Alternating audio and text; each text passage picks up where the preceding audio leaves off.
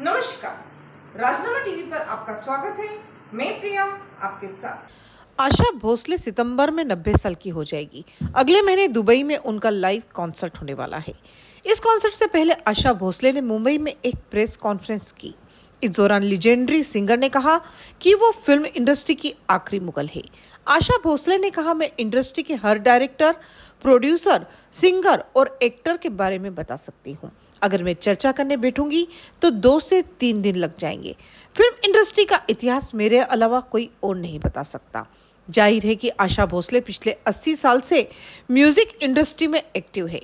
इससे पहले उनकी बड़ी बहन लता मंगेशकर सबसे सीनियर शख्सियत थी। आशा भोसले 1945 में मुंबई आई थी। तब से वे लगातार गाने गा रही है। उन्होंने 10 साल की उम्र से ही सिंगिंग शुरू कर दी थी।